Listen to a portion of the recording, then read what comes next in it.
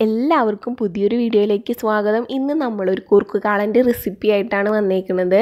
വളരെ ഈസി ആയിട്ട് നമുക്ക് ഉണ്ടാക്കാൻ പറ്റുന്ന ഒരു കാളനാണ്. ഇതിനായിട്ട് നമ്മളിവിടെ തയ്യാറായിട്ട് നുറുക്കി വെച്ചിട്ടുള്ളത് കായും അതുപോലെ തന്നെ ചേനയുമാണ്.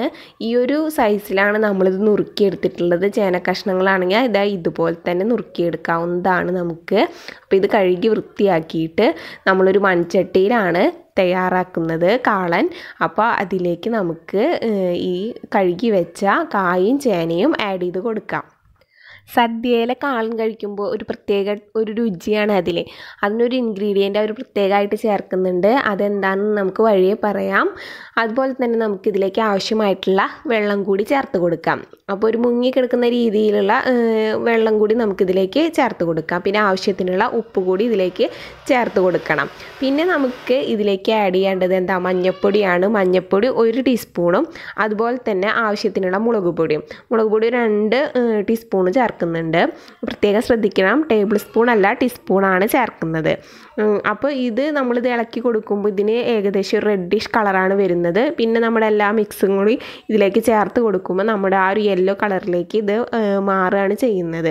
അപ്പോൾ ഈ റെഡ് കളർ കണ്ടിട്ട് ആരും ഇതെന്താ എങ്ങനെയെന്നൊന്നും വിചാരിക്കേണ്ട. അപ്പോൾ അത് വെന്തൊക്കെ വരുമ്പോൾ അതിന്റെ ഇൻഗ്രീഡിയൻസ് ഒക്കെ ചേർക്കുമ്പോൾ അത് റെഡി ആയിക്കോളും. അപ്പോൾ ഇത് ഏകദേശം നന്നായി കിടന്ന് തിളയ്ക്കുന്നുണ്ട്.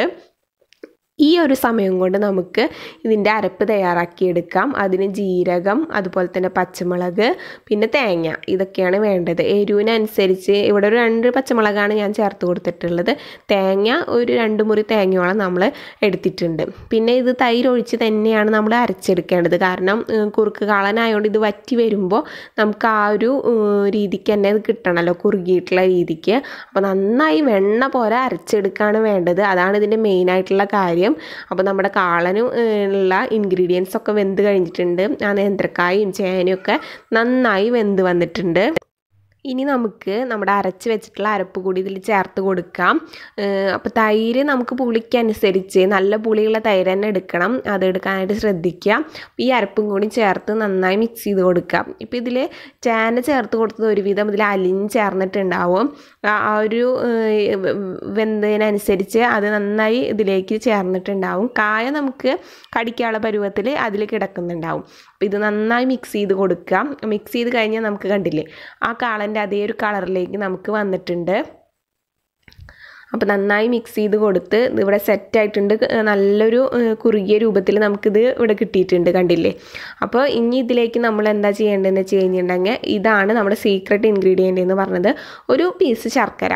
നമുക്ക് ആഡ് ചെയ്ത് കൊടുക്കുക. ഒരു കാൽ ഭാഗത്തോളം ഒരു ശർക്കര എടുത്തു കഴിഞ്ഞാൽ അതിന്റെ കാൽ ഭാഗത്തോളം ആഡ് ചെയ്ത് കൊടുത്തിട്ട് നന്നായി അതിൽ കൂട്ടി യോജിപ്പിക്കുകയാണ് വേണ്ടത്. അപ്പോൾ അതാണ് നമ്മുടെ കാളനിൽ ഏറ്റവും കൂടുതൽ രുചി കൊടുക്കുന്നത്. ഇനി ഇതൊന്ന് താളിച്ചെടുക്കണം. വെളിച്ചെണ്ണ തന്നെ ഇതിനായിട്ട് ഉപയോഗിക്കണം. അപ്പോൾ ഇതിലേക്ക് താളിക്കാനായിട്ട് നമ്മൾ കടുക് ആദ്യം ചേർത്ത് കൊടുക്കണം. കടുകിന്റെ കൂടെ വറ്റൽമുളകും വേപ്പിലയും. അതുകൂടി ചേർത്ത് താളിച്ച് കഴിഞ്ഞ് നമ്മുടെ കാളൻ ഇവിടെ റെഡിയായി വന്നിട്ടുണ്ട്. സൂപ്പർ ടേസ്റ്റുള്ള കാളനാണ്. അപ്പോൾ എല്ലാവരും ഒന്ന് ട്രൈ ചെയ്ത് നോക്കണം. അപ്പോൾ മറ്റൊരു വീഡിയോയിലൂടെ ഇനിയും കാണാം.